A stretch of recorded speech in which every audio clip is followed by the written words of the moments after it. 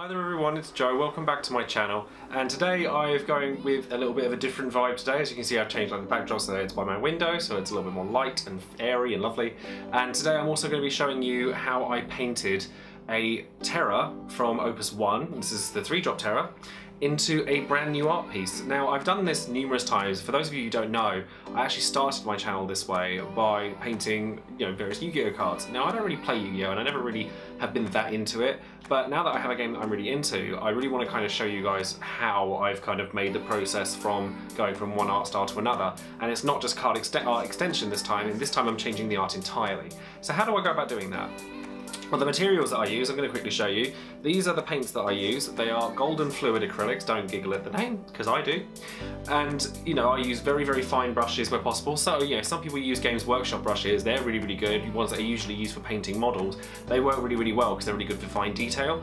But the first thing you want to do is you want to cover up the background from the, uh, from the original picture. So you want to try and colour match it as close as you can. Now, with this being an ice card, you kind of want to make sure that you've got that, you know, colour scheme right, but with FF cards, obviously they kind of have the little legs sticking out the bottom, so you kind of have to just deal with that. But the nice thing about Final Fantasy cards is that they can, you know, similarly to Magic cards, they can either all be foil or all be non-foil. Now this kind of painting scheme only really works with non-foil cards.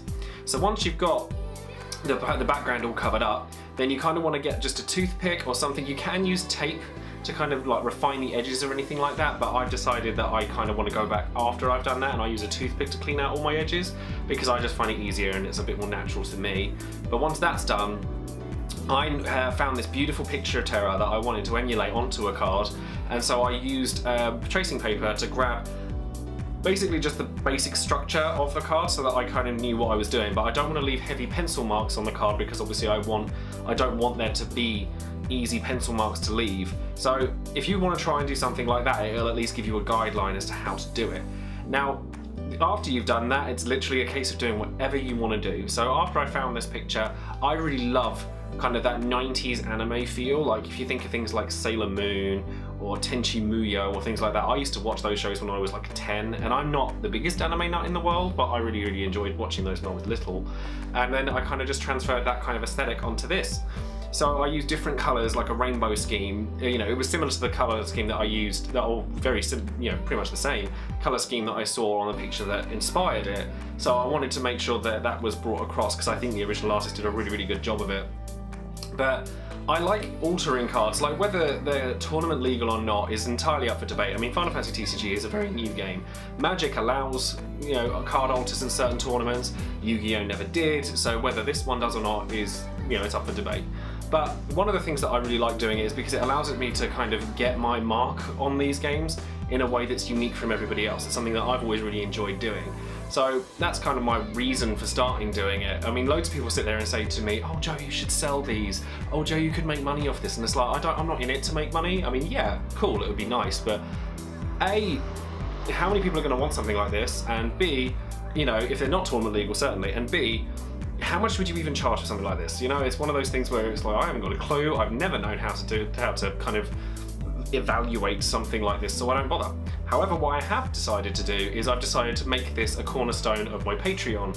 Now, I've already got people who are supporting me on there, and I've been very, very fortunate and I will leave all the names of my, you know, my biggest supporters at the end of every video because it's, you know, the way that these things go and it's something that I really want to push and I want to make my own little community and I'm really enjoying that. Like we have a Discord chat that we are actually very active and we discuss loads of different things like Brave Exvius, Opera Omnia, the card game obviously, all things like that. And obviously, and with the paintings that I do, um, I wanted to make it so that people could vote on things that they wanted to see on a card. So whether it be a completely different character or just different artwork for the stuff that you see, like this Terra, like this Terra wasn't voted on. However, the higher tier stuff, you know, you can actually win some of these cards once a month as well. I'm not going to like completely overrun my channel with stuff like this. I'm probably going to only do it once or twice a month, but people can win those cards and they can vote on them as well. So if you're interested in joining in on that, then I'll leave a link to my Patreon account in the description box below and hopefully you guys will enjoy it all the same.